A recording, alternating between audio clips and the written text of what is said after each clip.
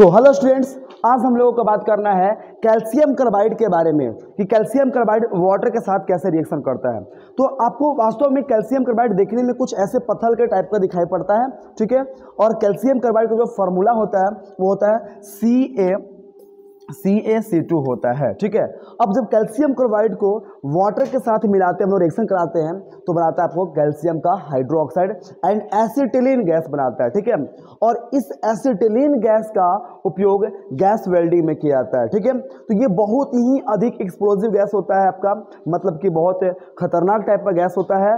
तो आज हम लोगों को इसको प्रैक्टिकली रूप में देखेंगे, बना करके कैसे बनता है, ठीक है? तो आइए आप हम लोग एक्सपेरिमेंट स्टार्ट करते हैं।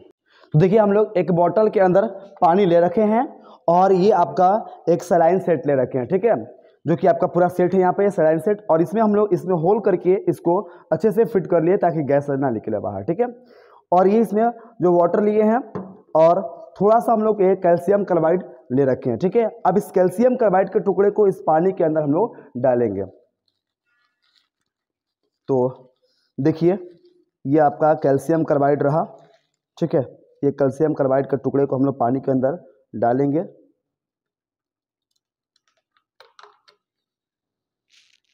और ये इसके अंदर रिएक्शन होने लगा।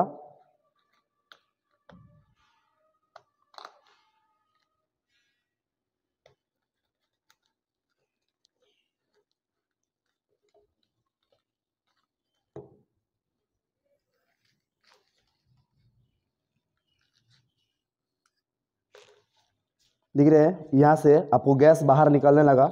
आप देख रहे होंगे अच्छे से ये कितना इसके अंदर आपको निकल रहा है। ठीक है? ये पानी जैसा भी इसके बाहर से निकल रहा है। अब इसको हम लोग जला कर देखेंगे कैसा जलता है। देखिए, ये क्या है? कितना अब साउंड भी कर रही है है ना? तो ये रहा आपका ये आपका एसिटिलीन गैस है, ठीक है? और इसी एसिटिलीन गैस को हम लोग वेल्डिंग के रूप में यूज़ करते हैं, ठीक है? ये आपका एसिटिलीन गैस है। आप देख रहे हैं, ये बहुत डेंजरस गैस होता है आपका, ठीक है?